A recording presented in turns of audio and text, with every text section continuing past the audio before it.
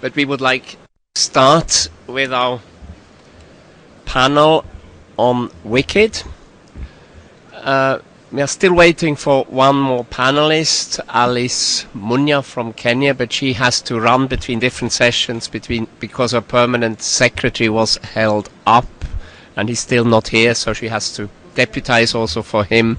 But she will join us uh, sooner or later. We have a very distinguished panel of experts. I suppose you recognize most of them. To my right is Vint Cerf, who does not to need to be introduced. And to his right is Geoff Huston, the chief scientist of uh, APNIC. And to my left, I have uh, Dick Beaird from the United States Department of State. And to his left, uh, Franklin from the Brazilian Ministry of Foreign Affairs. And to the very left, we have Bill Drake, who is also well known in these circles, a US academic who lives in Switzerland. Uh, I will, we are, as we are late, uh, I, we are offici- officially scheduled to finish at six o'clock, but I think we can run a little bit later, maybe six fifteen or so. And uh, without much further ado, I would like to ask Vint to introduce the subject, please. So, uh, dearly beloved, we are gathered here. I'm sorry, wrong, wrong notes. Uh, so it's obvious that this crowd cares a great deal about what happens to the internet when it comes up against regulations that are ill suited to its operation. And so we're here to discuss specifically the potential for uh, the ITRs to interfere with the best quality operation of the internet, and more generally, the question about regulation and how it should be formulated. So let me start by arguing that we should have a principle that says the stakeholders who are affected by regulation should have something to say about it before those regulations are adopted. The second thing, channel two, channel two. The second thing is that, of course, nobody can hear that if you're not on the right channel.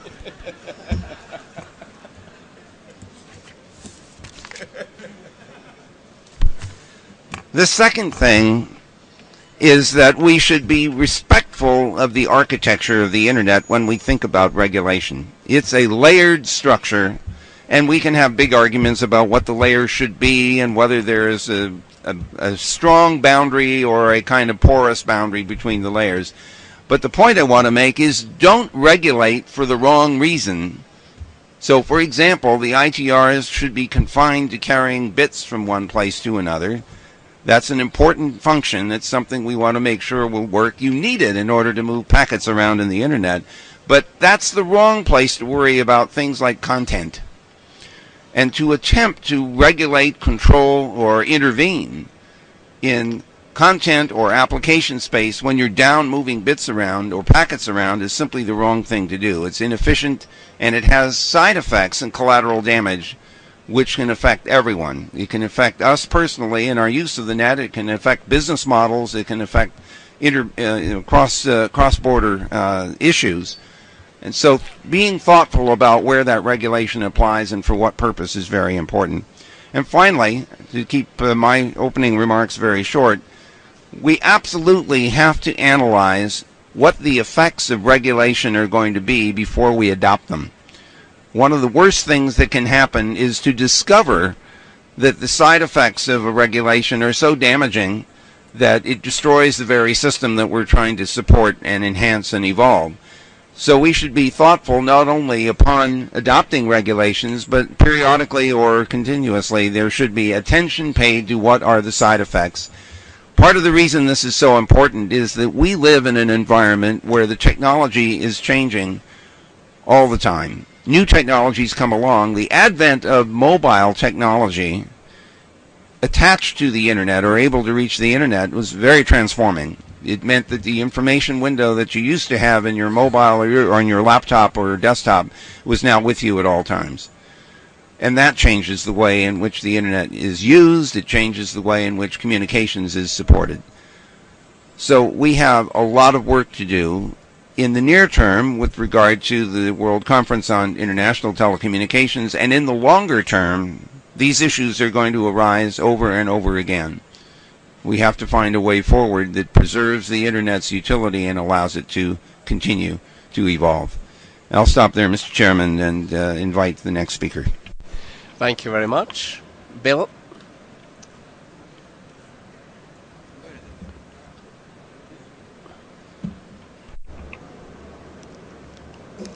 Thank you very much, Marcus. Um, good afternoon, everybody. Uh, sorry for the rather chaotic uh, uh, conditions uh, with everything running late. I just want to point out uh, before I begin my five minutes that um, in case you're not aware, tomorrow morning at 9.30 uh, there will be the main session on critical internet resources in the main hall. I will be co-moderating that session and we will spend about an hour or so on the WCIT and the international telecommunication regulations there as well. So if you're interested in this issue, you have a second opportunity as well tomorrow, which might be perhaps starting on time and hopefully a little bit less uh, chaotic. So, okay, there are of course many, many things that can be said about this subject. It's a it's a topic of great concern and has received an enormous amount of uh, publicity in recent times, and it's been the source of a lot of divisive debate.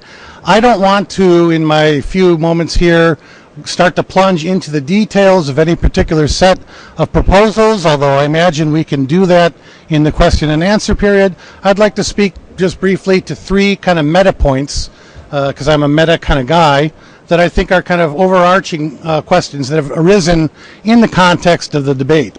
The first one is the relationship between the existing international telecommunication regulations and the Internet's development. I raise this point because you may have seen the point come up a number of times in discussions uh, the assertion has been made that the ITRs are somehow responsible for the internet's development, that they had a catalytic effect on it, and so on. And I think it's worth just recognizing how this works.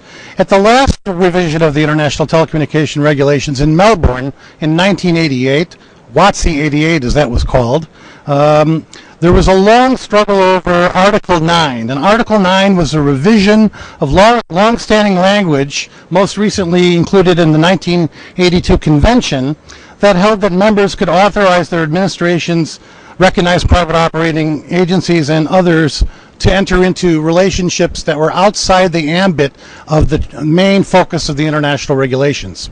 In, in uh, Melbourne, that article was expanded to take in, on board a recognition that we were in a world of liberalization and privatization, that uh, many large companies were building uh, global private networks and, in, and enhanced value networks, as we would call them in the United States, value-added networks abroad, that merged computing and telecommunications, and there was an effort to try to ensure that this whole terrain of digital communications was going to remain outside the focus of the whole accounting and settlement system and everything else that is the main guts of the ITRs. And so the language that was adopted said that members could authorize uh, administrations, RPO, uh, recognized private operating agencies, and any other organization or person to enter into special arrangements with counterparts abroad, subject to national law, for establishment of special networks, systems, or applications, including the underlying means of telecom transport, to meet their own communication needs or those of others. So there you have the notion then that these new kinds of digital um, networks and also the applications that ride over them should remain essentially unregulated. Um, and members did that, uh, as I say, focusing in a really on, in a pre-internet kind of world on the kind of computer computing platforms and digital communications that were popular then in the private sector. This also led to the liberalization in the ITU of recommendation D50 uh, or D1, sorry, which for a long time had regulated tightly the operation of leased circuits and private networks. Um, so this has often been cited then as having been a big catalyst of the internet, and indeed, um, some have argued uh, that, quote, all internet traffic moves under Article 9. Um, I some in Geneva, I will say.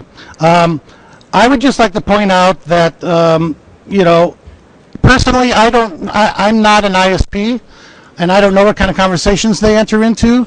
But I rather doubt that when ISPs are deciding how to peer and interconnect, they sit around together and they say, "Well, wait, is this permissible under Article 9 of the uh, International Telecommunication Regulations?" Oh, yes, it is. Let's peer. Uh, I, I don't think it's really the case. So while the ITRs did not impede the development of the internet, and indeed by liberalizing leased circuits may have facilitated it in some way, it's a bit of a stretch to suggest that the ITRs are in any way responsible for the internet's development. Secondly, I'd like to raise the question of the, the relationship between the revision of the ITRs and internet governance, because this has been contested as well. Some have argued that there is no relationship at all. The ITRs are not about internet governance. Nobody who's concerned about internet governance should be worried about it. Indeed, I've had people say to me, why are you doing this panel when there's no relationship between the two? Now, if you stick to the narrow definition of internet governance that people tended to use before the WSIS uh, process began, where you think of internet governance as pertaining just to the, the internet names and numbers that are managed through ICANN and the RIRs, you can say, yes, there's no live proposals on the table now that would transfer functions from ICANN or otherwise impede uh, the operation of the Internet naming and numbering system, so therefore there's no relationship.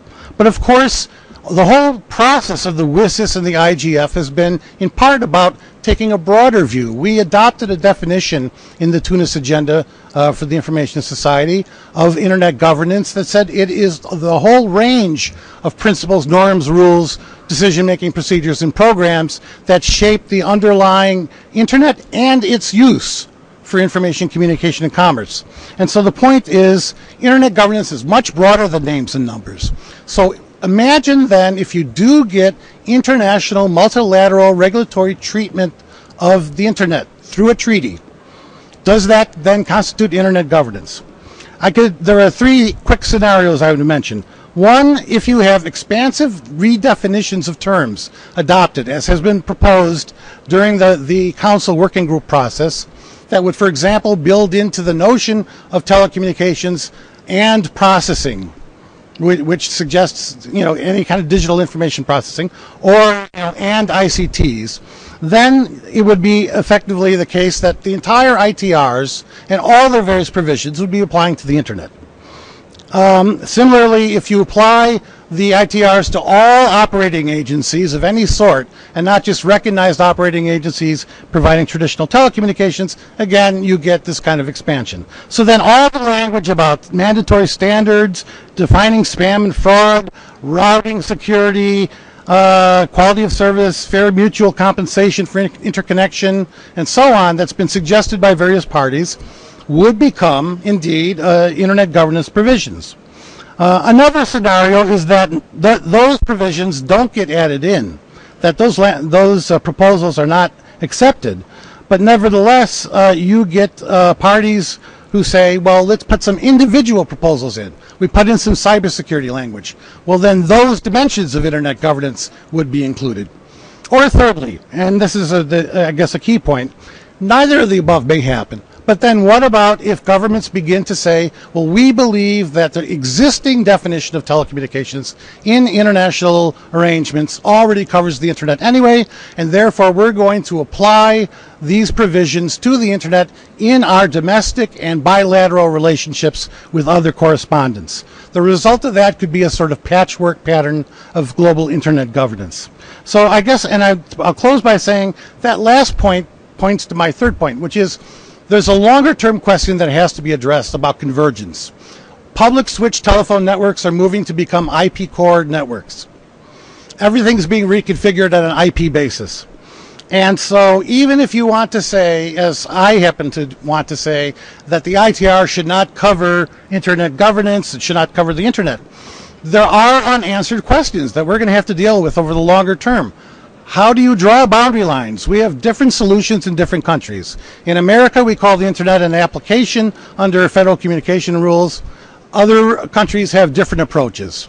And at some point, the differences between those approaches may become more manifest, raise more issues. And the question is, do we just kind of say, it's too much hassle to try to get into this. Let's just ignore the problem and not put anything into any international international agreements because it may do more damage than good, which is sort of what they did in the WTO. Or do we try to tackle these questions? I imagine they're going to come up again at the World Telecom Policy Forum and elsewhere. It's a long-term problem that we need to think about. I'll stop there. Thank you. Thank you, Bill. And uh, in the interest of time, I kept down my introductory remark, but one thing I did want to say, we have tried to set up a very balanced panel, and we have, I think, geographical balance, unfortunately not much of gender balance, but we also invited representatives of the ITU. We reached out to the chairman of the preparatory process and also to the host country, United Arab Emirates, but unfortunately, for various reasons, uh, we were not able to have them on the panel. Okay, now over to uh, Alice Munyua, and let me check on your exact title. You are chair of the Kenya uh, Internet Governance Steering Committee, from, uh, which is under the Ministry of Information and Communications. Please, Alice. Um, thank you very much, uh, Marcus, uh, and to Bill for organizing this workshop and for inviting us. Uh, I've been hopping between several workshops because our permanent secretary, Dr. Bitange Ndemo, who should have been here, has been delayed, and so uh, apologies for the delay. Um, I, I, was asked to uh, present Kenya's position on uh, and ITRs. But the first thing I'll say is Kenya hasn't developed a position yet because we are still yet to hold uh, a multi-stakeholder meeting uh, that involves all stakeholders uh, so that we are able to develop what we're calling a national position. Uh, and a few of the stakeholders, including industry, I think Fiona and the rest are in this room and they can add on uh, uh, to some of the points I'm going to be making.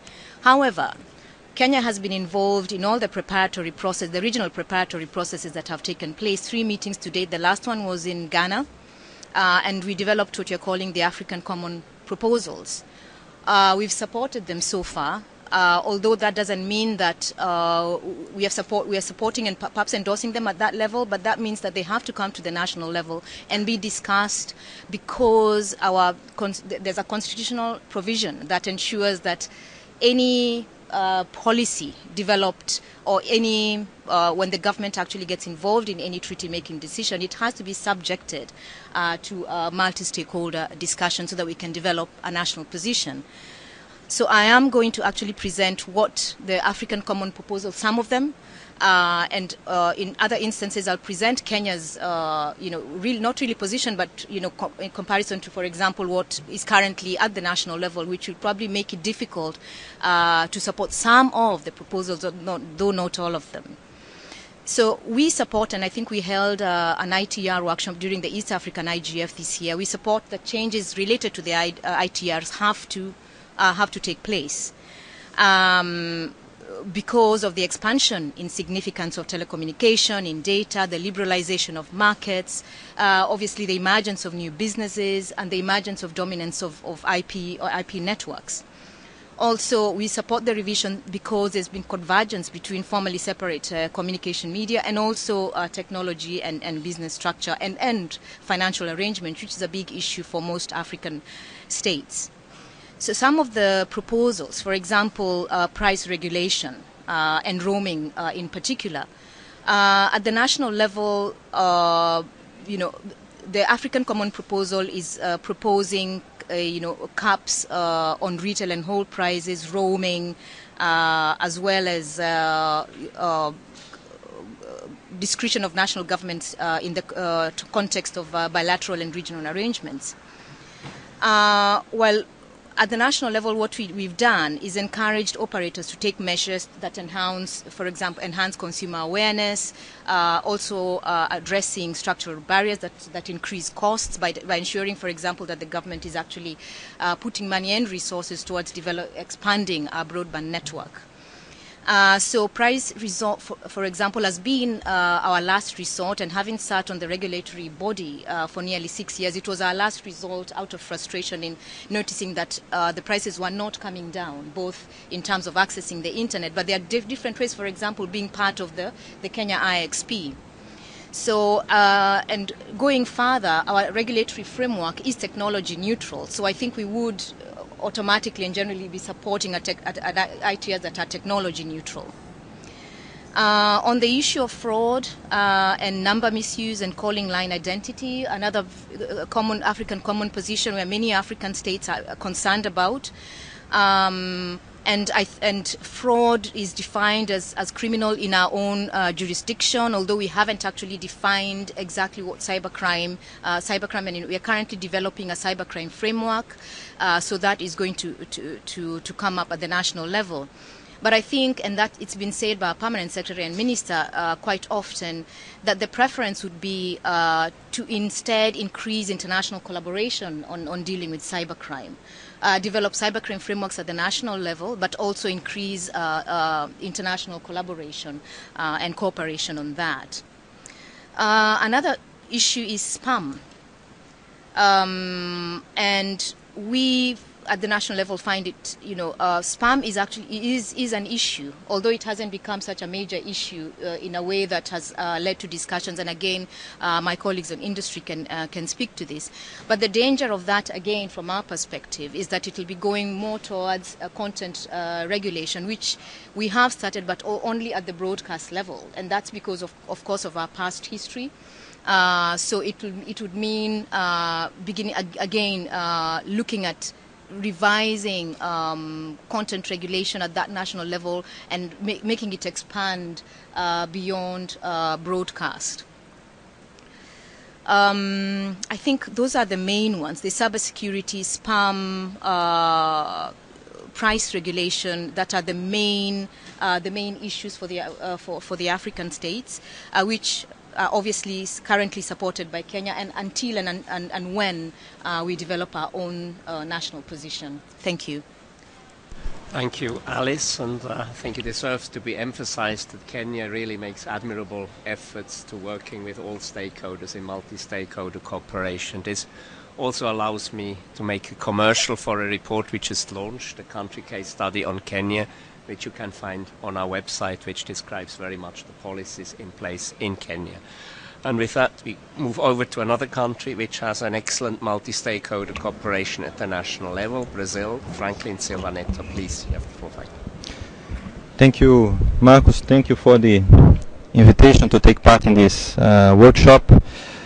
Uh, when I was invited to, to take part, it was uh, made very clear that I could take part here uh, as an, an informal position, or I could also choose the opportunity to have an official position.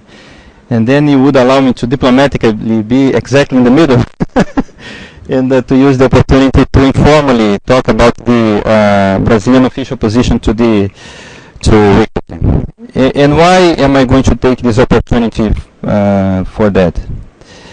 Because I see that uh, in the in the two days here in, in IGF, since I arrived yesterday and uh, along the whole day today, there is a huge interest. Not only in the Brazilian position, I, I think uh, uh, there is a, a, a, huge interest in the participants of this forum on what uh, countries, and especially some countries, are uh, are thinking and how they are preparing their positions to to WCIT. And then I would like to, to, to take this opportunity to to make very clear some points of the Brazilian position, which I think will uh, respond to many of the people who uh, approached me and other members of the uh, Brazilian delegation regarding uh, the positions to WCIT. Um, the Brazilian final position, uh, uh, like is the case of Kenya, is not yet set in all the, the, the complete array of issues because we are holding a very comprehensive national process of consultations with all stakeholders involved to uh, prepare uh, the positions to the to the conference. And then uh, I uh, I see that this is already an, an, influence from the internet environment to the telecommunications environment because now we have a multi-stakeholder preparation for a a telecommunications conference in Brazil. And as the same way as people say that uh, the internet runs on Article 9, we could say that the opposite is also happening. Uh, and this process, I can come to more detail later if it's it's in the interest of the of of the audience. Uh, but uh, it is open to all, uh, every and all citizen of Brazil. You, they can participate either via internet or via weekly meetings that take place in Brasilia in the Anatel, which is the regulatory agency of Brazil, which is in charge of preparing the position for the conference. I mentioned this to uh, uh, let it clear from from scratch from the start that uh, the uh, the position that will be reflected in, in, in Dubai will be a multi-stakeholder position in Brazil. So we we uh, this is a very difficult exercise, but we want to reflect there a position that's not only uh, from governments but also from the private sector and from the civil society. And um, we also think that there are many aspects in the ITRs that should be uh, uh, uh, should be updated. Of course, it's obvious to say that in 1998, for example, people did not use to carry their phones abroad. And now they do because they have cell phones. And then this question of roaming, uh, thinking on the public, uh, uh, on the public interest of the conference from the Brazilian perspective is a very important issue. Um, and uh, the proposals that Brazil is going to, to, to, to and is presenting to the conference, uh, most of them have to to do with this uh, rating and tariffing aspects of the ITRs, especially regarding roaming. But now, do uh, does the conference has anything to do with internet governance, which is the, the, the, the question here? Well, I would start um, my initial remarks, and then we, we also com could come in more detail later. Uh, it, uh, this is a very important question because in 1998, when we had the, the ITRs signed, we still do not did not have the actual uh, definition of internet governance, which was uh, crafted and drafted by the uh, working group that uh, worked between the two sessions of WSIS. And then if you uh, compare uh, the definition of internet governance, when they say that it's rules and norms that uh, uh, uh, uh sort of shape the, the, the, functioning of the internet, and if you think the internet on this classical layered structure, you see that telecommunications has much to do with the infrastructure layer. And then from that perspective, uh, I would say that uh, it, is, it, it is possible that there are some issues uh, related to internet governance and to internet that uh, also have to do with ITU issues. Uh, we should not, not also forget that ITU is one of the facilitators of the action line number 5 uh, of, WSIS. But and this is a, a, a, an important point. But here I'm talking about ITU and internet governance, not about WCIT and internet governance. Because when we consider specifically the conference, uh, Brazil sees uh, this conference as an opportunity to update or to redraft the ITRs, but also to have a treaty of principles. Not a treaty that will come into the very specific details of, of the questions. And then, in this sense, uh, we consider that the, uh, the, the, the, the, result of the conference would be a text that would deal specifically with the, I would say, traditional elements of telecommunications. And here there is an, an important point, because also within Brazil, uh, legally, we have a norm that we call uh, informally as Norm 4 that separates telecommunications from uh, ICTs. And then uh, even legally, you cannot have uh, this uh, uh approach at the conference to bring the concepts and the issues of ICTs into the concept of telecommunication. Uh, this is a very important aspect, which is not very well known, and then I'm taking this opportunity to to to uh, to make this better known, because this will shape the the whole preparation of Brazil to the conference. Uh, I, I, think it's important to mention as well because Vint said something very important this morning. In the because the internet is much more than the computers or the software. The internet is a concept. The internet is a, a, a design, and this design in this concept were already valid in 1988.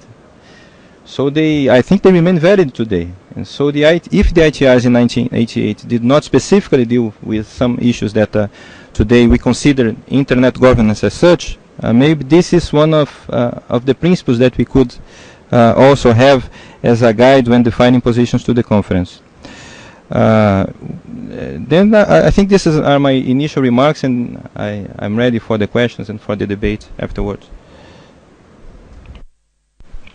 Thank you, Franklin, for that. And now over to Dick Beaird for the U.S. position, please. Uh, thank you very much, Marcus. It's a pleasure to be here today and uh, with my colleagues uh, on this panel, and particularly with my friend Vint Cerf. I would like to note uh, that we are uh, we have among us uh, Mr. El Ghanim from the United Arab Emirates, who will be chairing the World Conference on International Telecommunications. And Mr. El Ghanim, if you could kindly raise your hand, and thank you very much. okay. Okay. In Geneva. All right, and uh, we want to thank you very much for your service and look forward to, uh, to seeing you in Dubai. Uh, let me begin, first of all, by um, indicating um, that uh, I'm not going to engage in the debate as to whether or not the 1988 uh, ITRs were the foundation uh, for the Internet, but I will say, as, as our submission on August 3rd indicated, that it was a foundation uh, that enabled uh, and facilitated the growth of the internet. Uh, but what must be absolutely clear to all of us is uh, that uh, the internet grew up in a multi-stakeholder environment, and uh, we cannot um, forget about the work of the Internet um, Engineering Task Force, the World Wide Web, the ICANN, the regional uh, uh, registries, and so forth that grew up during this period and certainly facilitated uh, and made possible uh, the internet as we know it today. Uh, but it is important, uh, nonetheless, to speak about the ITRs and their importance from the point of view of a foundation for the environment we have today.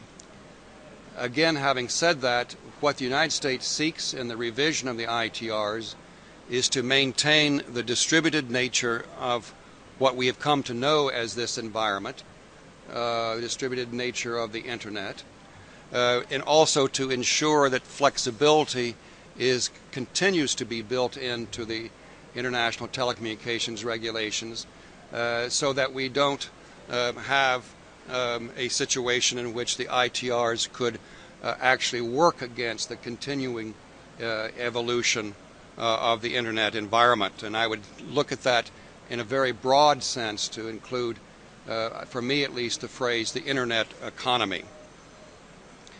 So the question becomes for us then, and I want to share with you, um, is what is the U.S. position? Um, and um, I want to summarize our position in a few uh, principles. Uh, first of all, um, we want to maintain minimal uh, changes to the preamble to the 1988 uh, ITRs. Uh, this is important uh, because uh, the only change that we actually seek to make is a one-word change from supplement to complement, that the ITRs complement the Constitution and the Convention of the ITU. But buried in that uh, preamble, and very importantly, is a fundamental principle, which is that the sovereign right of each country to regulate its telecommunications is fully uh, recognized. The second principle that is embodied there is that the ITU should promote the development of telecommunications services and their most efficient operation uh, while harmonizing the development of facilities for worldwide telecommunications. Um, and importantly, this is a reference to international telecommunications. I start here because um, this is where, I, if I may so suggest, you begin. And I like to always bring my ITRs because I think people are often, let me put it this way, this is probably the most talked about and debated document in the world, which is also perhaps the least read document in the world. Uh, but it is, if you read it, it is something that I believe in its own technical way, in its own moment in 1988, achieved a precision uh, and a kind of summary of what is important or what was important at that time And it is our goal in, the, in Dubai to try to maintain that high level, that high standard. And by, we will do that by, of course, maintaining uh, the document at a very high level of principles. It is the United States' goal to maintain the standard of the 1988 ITRs, which consist of nine pages of treaty text, and we wish also to try to come away from Dubai with only nine pages of treaty text. So, our principles. First, don't change the preamble uh, of the ITRs, but with that one exception. Uh, secondly, it's terribly important to remember that the ITRs should align with the Constitution and the Convention uh, of the ITU because the Constitution and Convention lays out very explicitly what is the mandate of the ITR, I, I, the ITU. So the two documents should be always kept in alignment, and that's the second goal of the United States. Thirdly, the world of telecommunications is an ever changing one. It is different in the ITU from the radio world, in which you have radio regulations that are revised every three to four years. It is very important for us to maintain that difference. Whereas we talk in the radio side about regulation, we talk in the telecommunications side about recommendations. Those recommendations should remain voluntary. And we are going to be very sensitive to that in Dubai, that nothing in the ITRs should suggest that the recommendations on the telecommunications side should become mandatory. Fourthly, and this is, I think is a terribly important issue, and unfortunately it has a bit of granularity to it. It's a bit detailed, but I can't emphasize it enough as an issue that is going to determine the, our understanding of the ITRs as revised. The United States believes that we should use, continue to use the term recognized operating agency within the revised text of the ITRs. And what do we mean by that? That term is uh, found there, but it was also revised in 1988 by the ITU to, to, to give us the definition of recognized operating agencies. And from our point of view, it has three components. First, a service is offered internationally. This is what the ITRs are talking about. It's only border to border. It, ITRs do not reach into domestic regulation. It is border to border. Secondly, it talks about a telecommunications service which is offered to the public. We're not talking about private networks.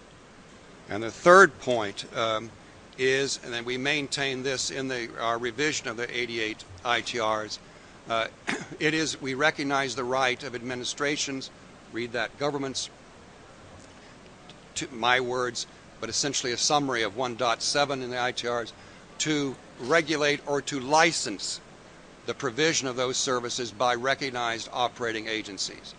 So we understand that that's the agency that we're talking about. That's the particular kind of operator that we are talking about.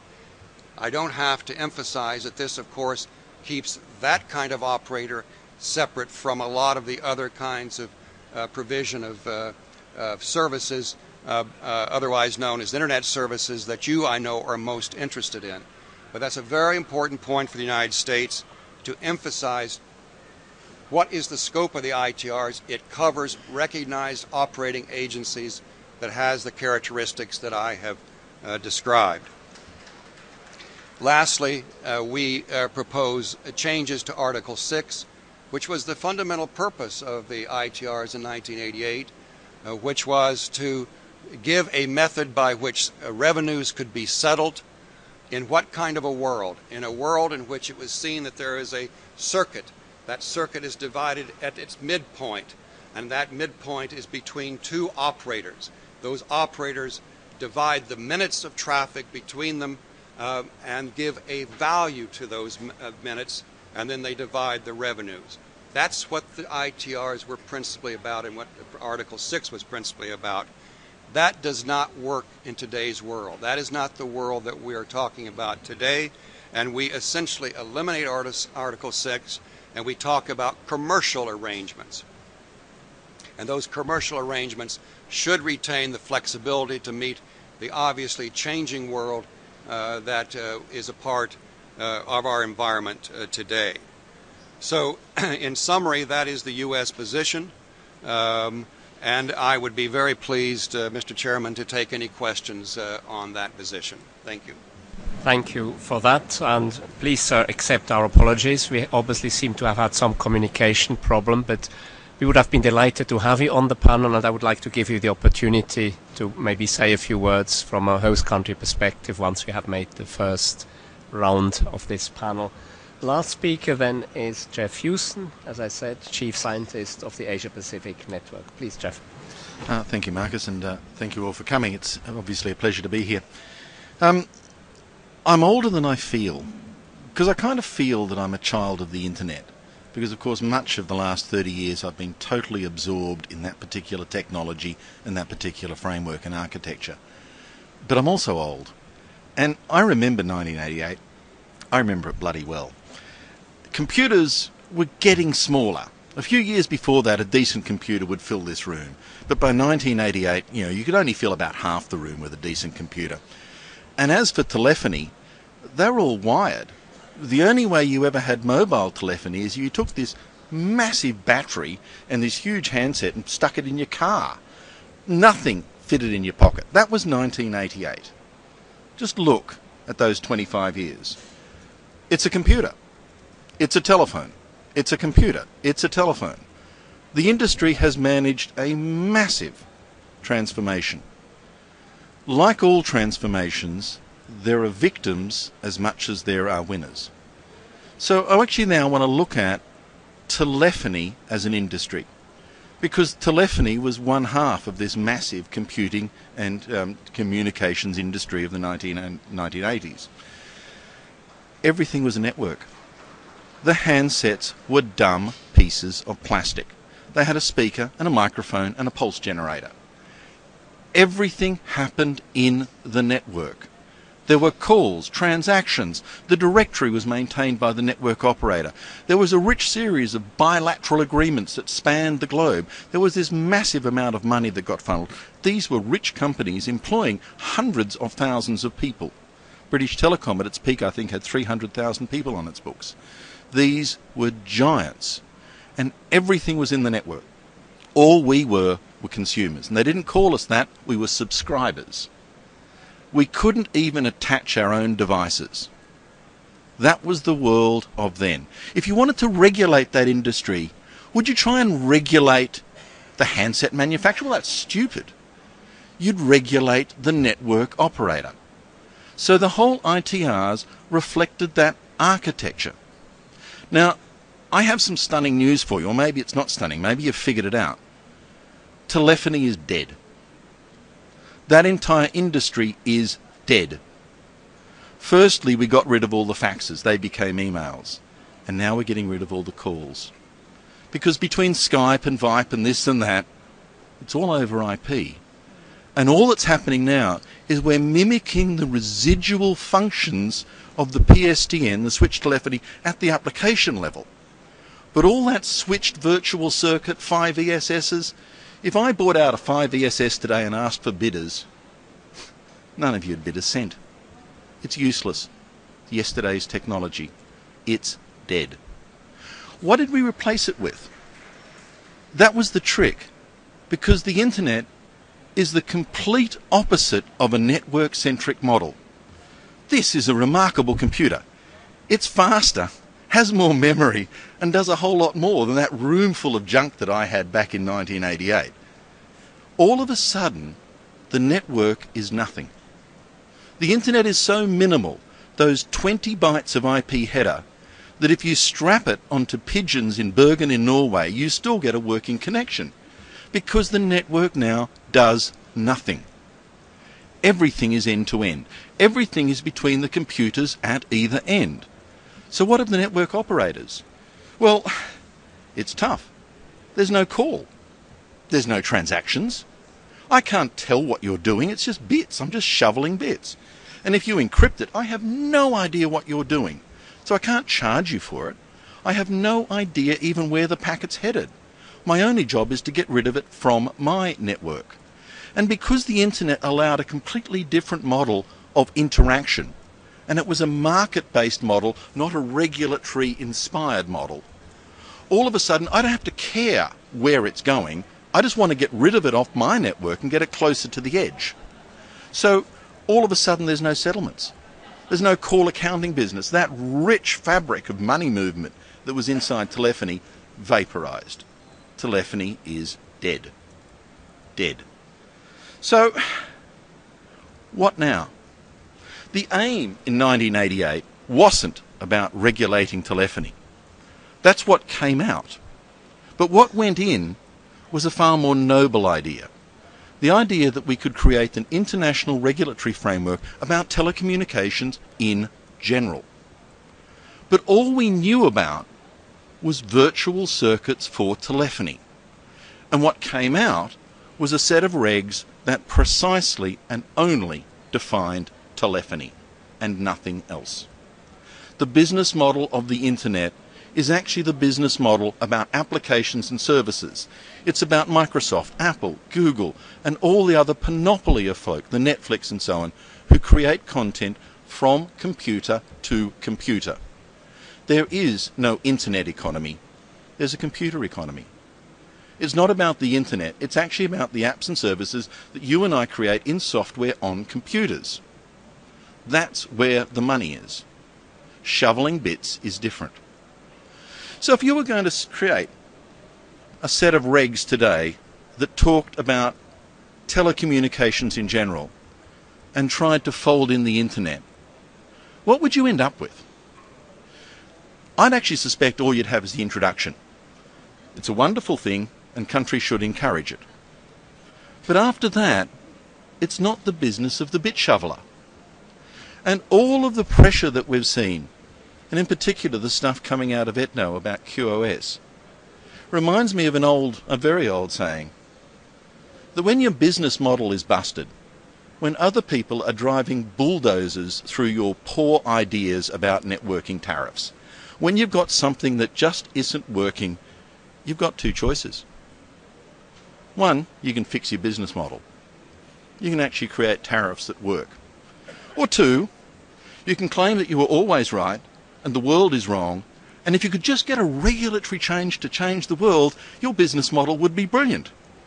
But of course, appealing to one country to change the regulatory framework is a waste of time. Go for the lot in one go. And that's why we're seeing a lot of these dead and dying telephone network operators appealing to the highest body they know to change the environment to support a business plan that's basically busted. What we're really seeing is a bunch of folk fighting over the water remaining in the swamp. And these folk are dinosaurs. It's finished. It's over. And what we're seeing is their thrashing tails. And I wish they'd go away. There was a time, a little over a hundred years ago, when this newfangled thing called the telephone and tele- telegraphy decided that the international regs of the International Postal Union weren't right. That it wasn't all just letters. There was a different way of doing it. They had a number of conventions and conferences, and out of it came the ITU. They split the two models because it isn't the post, is it? Telephony doesn't work the way the postal system works. Why do we think that there's even a hope of trying to create a single regulatory environment that spans the ghost of telephony and the internet of today and tomorrow? Maybe it's time to try and understand what those people were really thinking 110 years ago. And maybe it's time to understand that in the world of the network, in the world where the computer and computing applications are everything and the rest is bit shoveling, maybe it's time to think about how we wish to organize our world and the instruments we need that perhaps are different from the ITU we have today. And in the same way as the ITU and the IPU managed what appears to be, a 100 years later, a relatively reasonable settlement maybe it's time we tried to do that again. Thank you. Thank you, Geoff.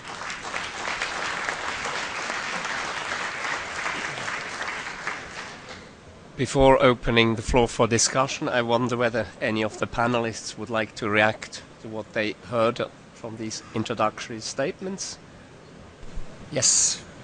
Uh, I like uh, Geoff's analogy very much, though my first reaction is being rolled over uh, on by a dying dinosaur is just as lethal and, and fatal. So uh, we need to get out of the way. Uh, I think you're right that we have a model that works.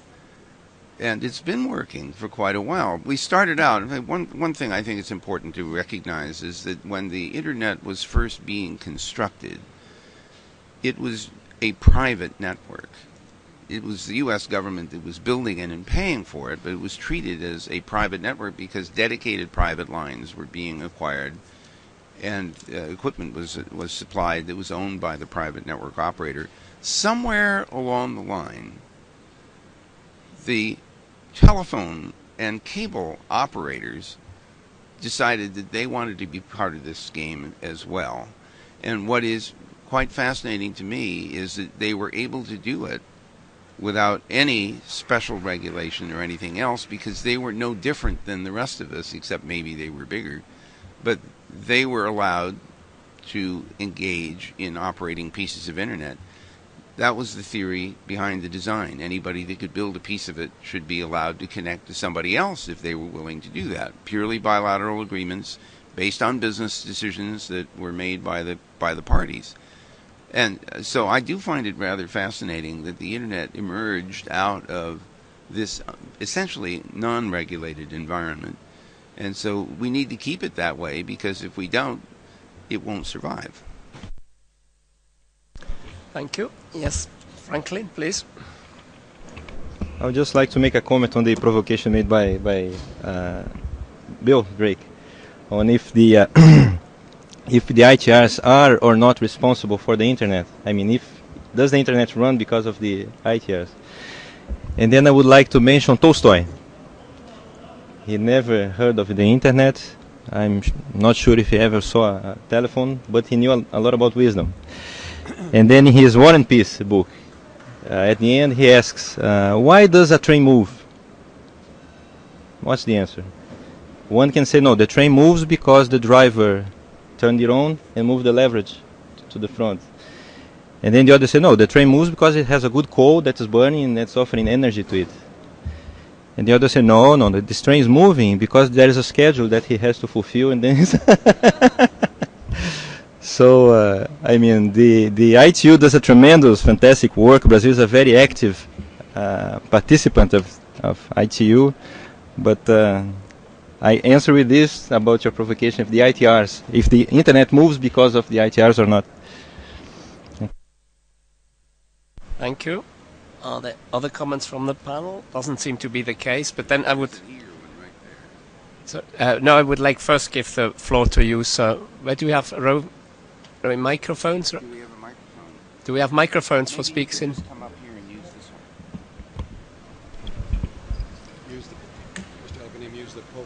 Or the, come to the. Podium. Or go to, what, so why don't you come to the podium? Okay.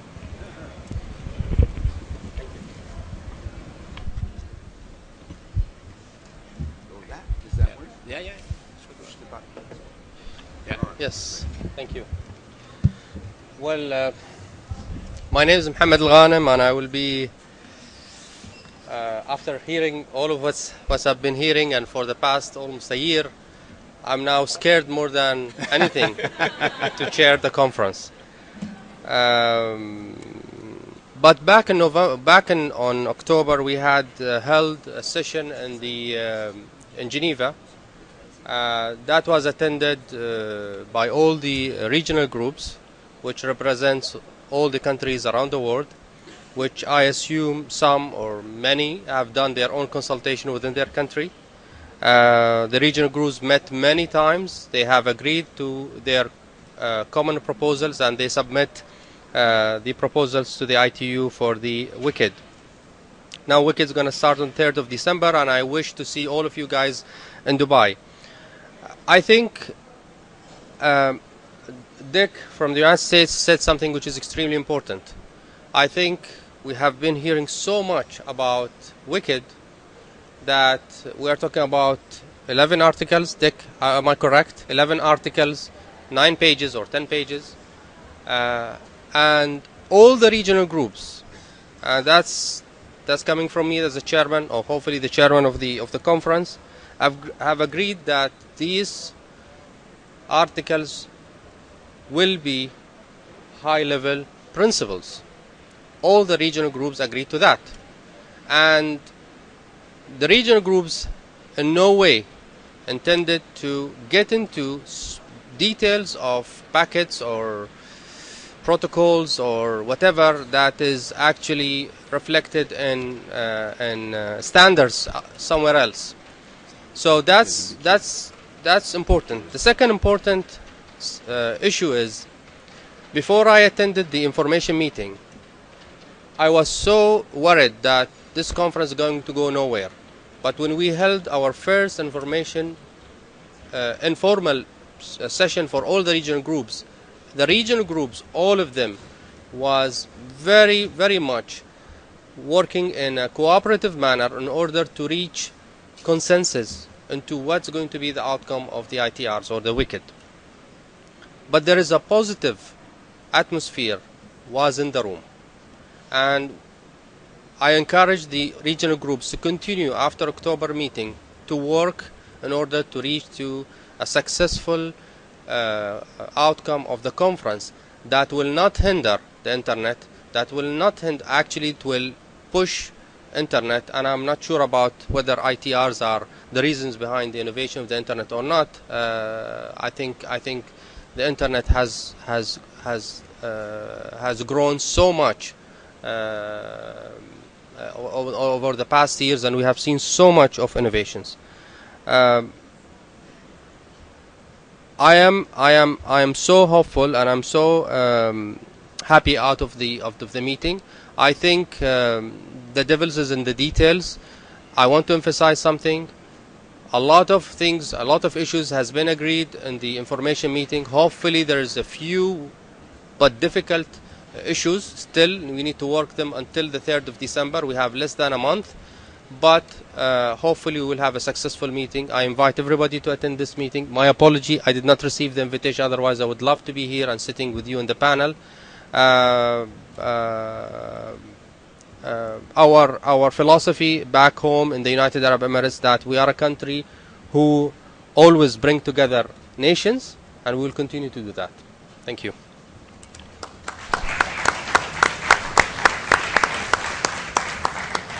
Thank you very much for this, sir, and you think you can take the applause as a sign that we feel we're in safe hands. Uh, I understand that uh, Luigi Gambardella would like to say a few words. Please.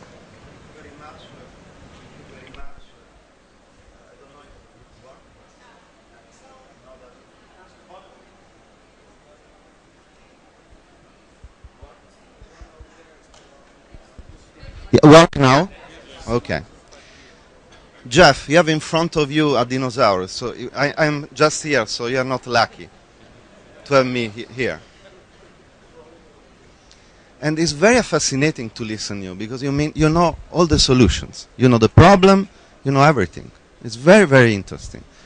And uh, I've listened what you have said. But apart uh, this joke, um, I think that one thing that is very clear from this debate and what precisely Geoff has said, which is completely different from Vinton, that this system does not work. It's broken. It's broken. It's not sustainable. Geoff, the European telecom operators have invested this year 44 billion euro in the networks. Someone has to pay for this. Or, or we go for the Australian models, where, the, where we give back the, the network to the state and this use public money, or we believe, we continue to believe in the private sector, in the private investment. This is a choice. We can discuss that. But someone has to pay for the infrastructure. Now, um, I, I um, would like also to um, ask uh, um, mm, two questions to in particular to, to, to the two panelists, Richard and Franklin.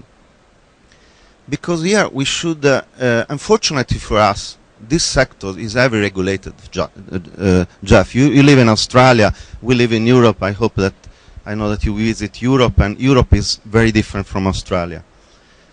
And uh, uh, we are very, we are very, and, and, and we believe that Europe is very competitive. You know, by the way, that the prices in Europe are less than half in the average of the price that are for the access of the internet in the US, for example. But about that, I would ask uh, Richard one question regarding the, de the definition of recognizing operating agency.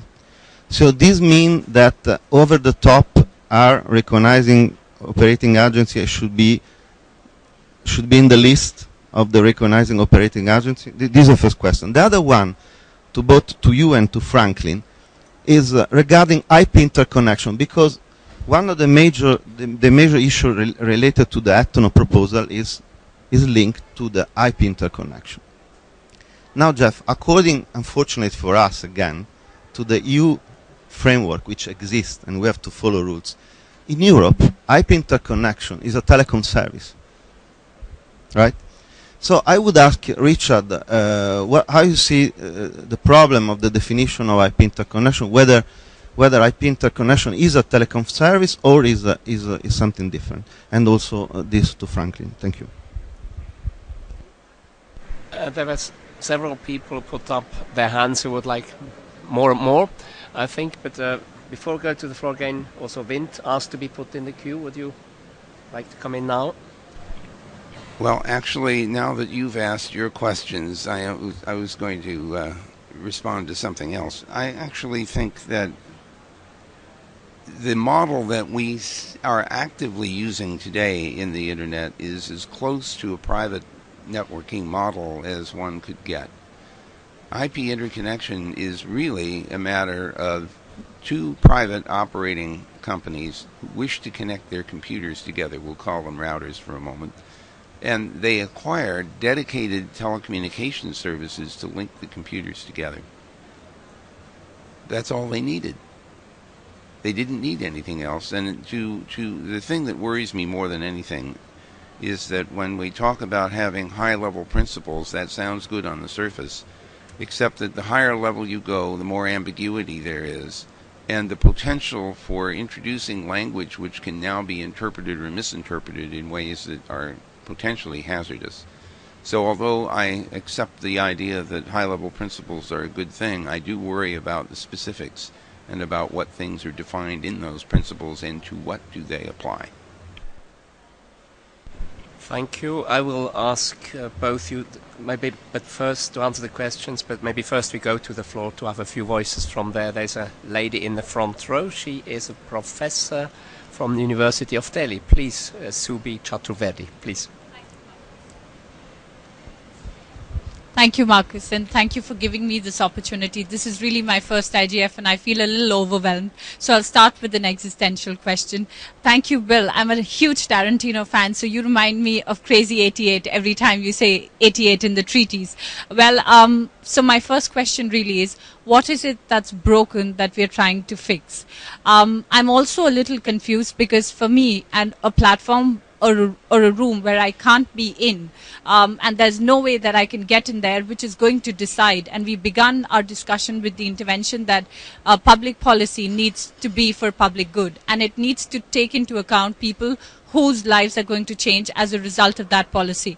So, um, so any discussion around the internet, which is about open innovation, which is about permissionless innovation, um, where access, transparency, and recourse are not an option, where I can't be represented, is worrisome for me. Uh, this morning also, we had the Secretary General say that he's not trying to control the internet, and documents that are put out by ISOC clearly indicate to the contrary. Alice has mentioned spam, network fraud, and the attempt to define them. The moment we go there, we're clearly making an attempt to go into the content layer and um, issues related to telecom.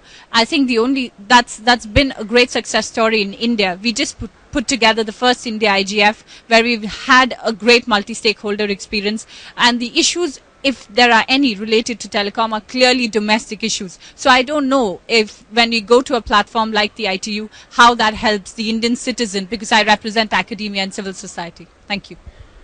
Thank you, and needless to recall that we had a very vibrant IGF in Hyderabad in 2008. There was a remote participant, and then I see I see Khalid Fattal and uh, this gentleman there. Remote participant, please.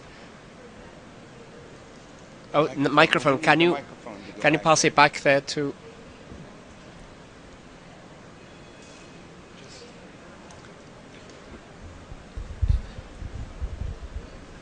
Thank you. Uh, we have a question from remote participant Ana Olmos from Spain.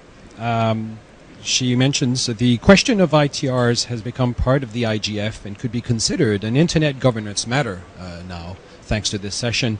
Um, how can the IGF help or channel the multi stakeholder community to impact the result of the WCIT or the final shape of the ITRs? And that's somehow related to a question at the front. Thank you. That's a good question, but that's basically what we are here for. We're trying to discuss this, also to raise awareness and to have a enlightened discussion, which is hopefully fact-based. But let's go round. I think Khalid, Zahid, and this gentleman there, please. Microphone, can you pass it back? Um, thank you very much uh, for the microphone. Uh, can you hear me? Yes. Um, first of all, Khalid Fattal, uh, Group Chairman, the Multilingual Internet Group. I think our journey since the uh, WSIS has uh, gone for a number of years, and I recognize many of the faces, and, and I'm sure many of the faces who have been there for a long time will recognize um, uh, the same thing. I want to ask the panelists maybe to reflect and maybe a bit of wisdom, not just the facts, because we're now talking about a threat to a supposedly a system that works, correct? Now, wasn't this issue dead and buried in 2005 when the WSIS closed shop, so to speak? And I ask, if it's really working as well as it is, why is there still that threat? And I put it to you, we have not as well, we have not done as well as we should have. And I think we need to reflect. For example, um, Today, we talk about the multi-stakeholder model that works for everyone. Yes, there has been tremendous innovation, but the innovation has only served a few. We look at, the, for example, the ICANN new gTLD process, which we were heavily involved in and continue to be in, and we supported. A portfolio of five groups have more than, uh, in their house, so to speak, more than 1,200 applications. Google are a major player. You look at the percentage of IDN applications that came into that space, and it's less than 5% of the total application. There's a multitude of what I would call things that could have been done better. And then I take you to back to the early days of 2003, 2004, when back then we alienated governments that they had no place into the process and tried to let them know that this is now how it's going to be. And I think back then, had we made it a bit more cordial, more respectful, and perhaps going back to the issue of the dinosaur today, we would probably not have been facing the threat again. And I point, I leave you with the thought: keep in mind that we need to reflect not only what works, but how it could have worked a lot better, perhaps. Thank you.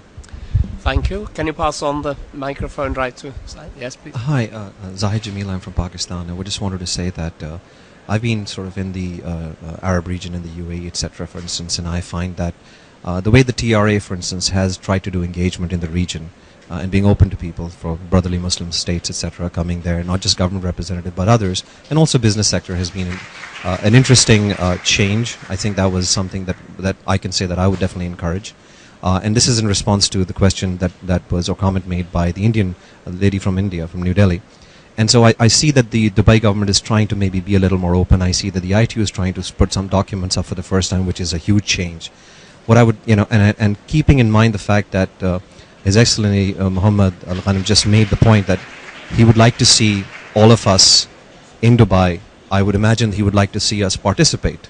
I would just uh, ask whether he can confirm that all of us, whether we are part of a state delegation or not, can actually participate.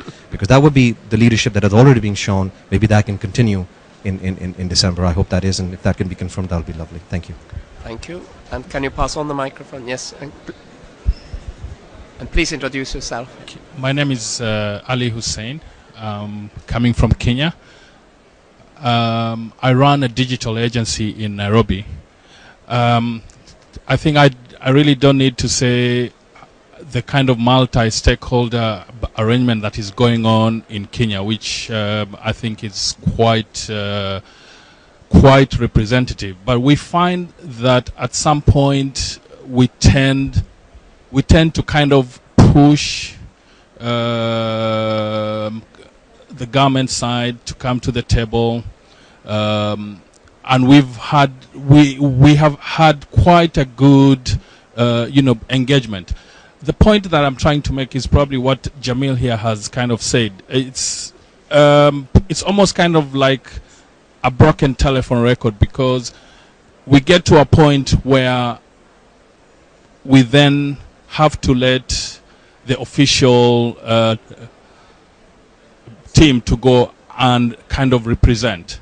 Um, so that's one, you know, issue which uh, I'm really wondering what, where the forum is, where we can we can kind of get a lot more involved than we we currently are. My next uh, comment or question is probably to the gentleman there who talked about the European telco. Um, I think uh, from an African perspective, we um, we've we've talked and agitated quite a bit about how telcos rolling out new and new networks. Um, you find that, for example, in Kenya, you've got four big uh, um, telcos um, in the mobile sector, and you've got ISPs, and each and every one of them is busy digging up the whole country. Um, and we've, I personally have tried to talk to them about an interesting American model uh, or word, new word called frenemy.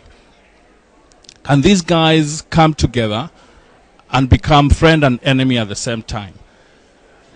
Bring bring all these networks together. Why does Safaricom have to invest three billion dollars or three billion shillings in a different network? Airtel is doing the same thing. Then consumers are left to actually pay a huge amount of money. So my question is, is the telco model as we know it a really dead business model? Is is something uh, uh, can they kind of uh, reinvent themselves themselves, or uh, as Vint um, talked about here, are we going to find ourselves being trampled by a collapsing dinosaur?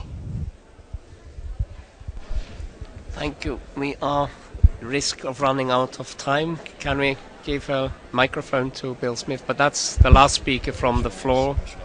Sorry. Sorry, um, Bill Smith from PayPal. Uh, first, I want to. I re- I don't know that I have a question. I want to thank um Marcus for assembling such a great uh, panel. Um, we have academic scientists asking the typically proverbial and controversial questions, um, engaging with the audience, and uh, the um, the government representatives being diplomatic as they should be. Um, I guess the question is, uh, how will we bridge the gap between academia, civil society, science, business, and governments in uh, the WCIT? Because I, I think that is uh, what we need to do, um, and I believe I am hopeful that uh, we will be able to do that in the uh, the conference in in uh, in Dubai in December. Thank you. Thank you. I would like to, uh, Bill, could could you not walk away, but maybe give the microphone to the chairman of the conference straight away? Uh, sir, um, would you like to say a few words and also answer? I think this is a, a good question, so maybe you're well placed to answer how we I plan think to bridge I, the gap. I think the question that uh, was ad- was uh, addressed to me regarding the participation of the of the different parties into the into on, uh, into the conference. As you know, uh, the ITU has got a process. Uh, m- member states they have their own accredita- accreditation process, where uh, companies can participate along with their uh, through their governments and their in the delegations. So we see delegations that they have private companies with UAE, for example. They uh, we we have private companies uh, participating with the with the official delegations, including academia as well. So uh, you guys have to go through your governments in terms of uh, the accreditation process that is approved by individual governments. I'm sure U.S., for example, they have lots of companies they participate uh, under the uh, under the U.S. government. Probably some other countries they do the same. So you have to go through through that. But uh, we we truly encourage uh, you know private sector, uh, civil society as well as academia to basically be part of this process alongside uh, the governments in order to uh, to give uh, you know to engage everybody in the process. So that's that's my answer. Thank you. And the other question on how do you think we will be able to bridge the gap? How how do we how are we able to bridge the gap as you will be chairing the conference? Would you have any comments? That's a good question. um, um, as I told you, we we went through all the issues during the information meeting, the fir- the first information meeting. What we will be doing is uh, we are engaged now into between the two the between between the six regional uh, groups in order to in order to focus on the issues that of that we know that is going to be uh, contentious in the conference. We will try at the, the first days to you know to basically get rid of all the issues that is agreed and focus on ne- nine days on the issues that is contentious. Uh, we are hopeful that we will reach to a, a, a positive conclusion that will be anonymously anonymously um, agreed by all parties uh, participating in the conference. Thank you. With that, I think I would like to turn to my panel and ask for final comments. Shall we just go from left to right and start with Bill on the very left? Thank you, Marcus. Thank you It's been a very interesting panel, and uh, I'm glad that we were able to pull this together. Um, I guess I just want to respond to the Indian colleague, being the academic on the panel and the civil society person. Uh, um, I guess I would start by saying, with regard to participation, uh, I'm certainly an advocate of reforms that would allow all stakeholders to be able to participate uh, in all relevant international processes. Um, I would also argue that at the national level, much is to be done. I don't know if you've seen the Indian government's proposal for the work of the conference, but clearly, given what you've said about your predilections, I would suggest that you should engage with them uh, around these issues and, and bring to bear like-minded colleagues as well. Um, I guess I'll just leave it there. I, I, I won't bother with the having provoked uh, Franklin. I, I, my only point was to say we would have the internet irrespective, but that not having the barriers is different from enabling. So, okay, that's it. Thank you. Franklin? Thank you. Well, I'm finishing my words, trying to respond here very quickly the, the questions uh, uh, that were risen. Well, about uh, bridging the gap on, on the on the WCIT, I very much appreciate the information that has been brought about the possibility of companies taking part in the delegations, and I I, I think this certainly is a very uh, clear sign that uh, the, the the conference aims to reach other stakeholders. But uh, uh, uh, of course, I would like to offer the, the Brazilian experience. Like I said, the preparation of the Brazilian position is being uh, made by a, a very open process where all the stakeholders are being heard. Of course, this is a difficult process, and at the end, some uh, uh, some individuals or sectors will not be fully happy. But like I think it was JFK that said that the path to failure starts to trying to leave everybody happy. So. um, about if the telco model is uh, going burning out or, or not, uh, uh, e- even if it, if it if this were true, uh, we know if you go back to our economic classes uh, years ago that the, the fundamentals of any economic system, uh, apart from the currency, from the goods, from the natural resources, is the entrepreneurship. I mean, and this pillar will not be broken. I mean, even if this model is is is facing huge challenges and transformations, I'm pretty sure that uh, uh, this uh, entrepreneurship, the, the, the, the, capacity and the will of the of the uh, of, of the uh, companies, they will they will find a way to to uh, on, on this new environment. Uh, about how the IGF could help the the, uh, the WCIT process, I think this is an example. I mean, here we have the, the chair of the of the meeting, listening from how we say from the horse's mouth many of the positions of the countries that will be represented in the in the conference. Then I think this capillarity that the IGF offers is uh, of great help for not only WCIT but also for many other meetings. Uh, responding to the young lady from, from India, uh, assuming that your question has also to do with the ITRs, what, what is broken and must be and must be uh, fixed, I, I, like I said, from the public interest perspective, and especially regarding to Brazil, we consider that the current system of uh, rating, of tariff, of cost, uh, is very uh, unequals, unequal, especially with the with the question of roaming. Then in Brazil, many people they travel abroad and when they come back they have this when they receive their bills so this is a, a, a, a, one matter of huge interest in Brazil one of the aspects that we think could be fixed by the new ITRs and responding to to to, to Luigi, uh, I I commend you for uh, uh, Luigi has been very active in Europe, including in contact with the uh, Brazilian representatives in Europe. Uh, specifically, the question about the IP interconnection. Uh, like I said, our norm 4 it states that uh, services related to the internet are added value services. Then they are not uh, tariffed as telecommunications. Thank you very much. Well, it was a pleasure to be here. Franklin, Dick, your uh, Thank you very much, and thank you again, Marcus, and for um, inviting me to participate. Um, let me uh, address specifically my friend Luigi's questions. Uh, the first question Are over the top providers recognized operating agencies from the U.S.? Excuse me, from the U.S. perspective, the answer is no. Secondly, with respect to internet connections, we see those as commercial arrangements, not regulated. On transparency, um, I think this is a very important point and is a theme of this conference uh, and it reflects the world that we now live in, and that's appropriate. The United States has approximately 103 participants in its delegation. It's, uh, it is evenly divided almost between private sector representatives and government. I'm pleased to say that Mr. Bill Smith of PayPal is a member of that delegation, and Mr. Bill Drake uh, from his uh, academic affiliation is also a member uh, of the U.S. delegation, and we have conducted extensive consultations to prepare our positions. Um, but I would encourage uh, you all, as you are maybe members of the civil society, to uh, participate in your national delegations and to come to Dubai. Thank you. Thank you for that. Vint?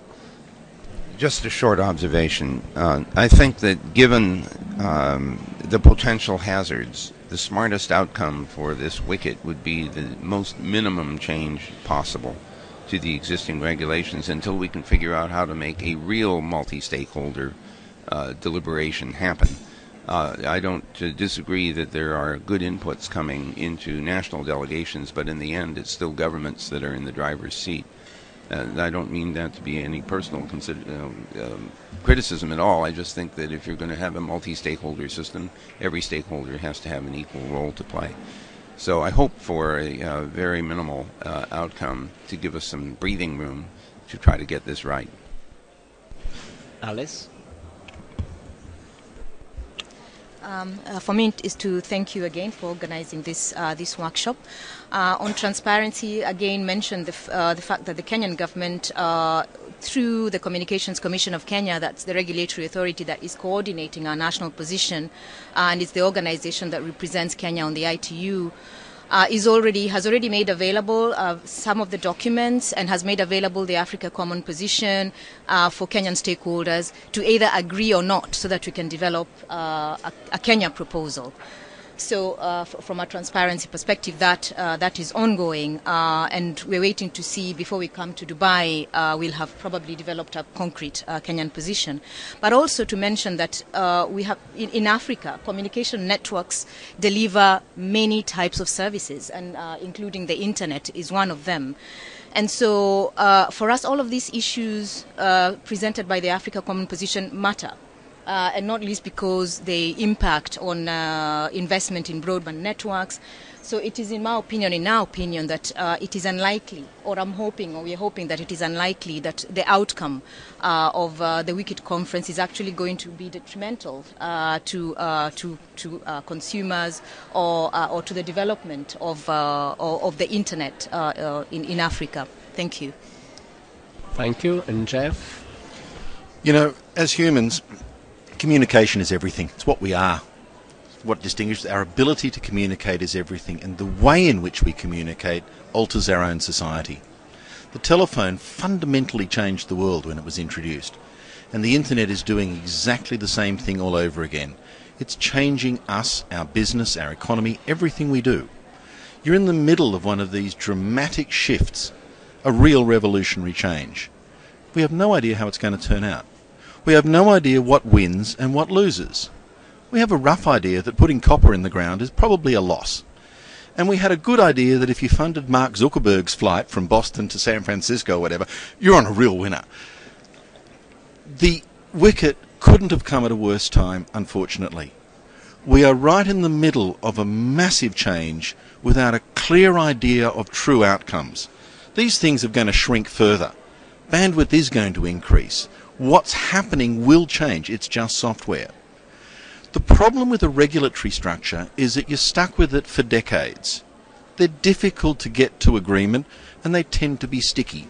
So we're asking from our delegations the ultimate in prescience, the ultimate in the ability to get just the right touch. What we have now is historic. And if we said right at the front, this is about the telephone industry and virtual circuits, we could all walk away and go, great ITRs, it's all about telephony, let's just walk away. But if we're going to get a set of regulations that carry us for the next two decades through all of telecommunications, then I think the best we could ask for our delegations is to get rid of Articles 2, 3, 4, 5, 6, 7, and 8. Is there 8? And just leave Article 1, which basically says this is a really, really good thing. And as all nation states, telecommunications should be encouraged in every possible way, because that's the way we as humans live, work, breathe, and play. And if we just did that, we would have done enough and given enough of a goal. Because I think beyond that, none of us, industry, academic, scientists, none of us have any idea of precisely how the industry is going to play out in the next 10 years. This is the middle of a massive revolution. Thank you. Thank you. I, I will not try even attempt to summarize. I will say this was an extremely interesting discussion, and I would like to thank all the panelists and above all Bill Drake, who did much of the heavy lifting in preparing for this panel. Participation and your attention, and I would like to ask you to join me and give the panelists a big hand. Thank you.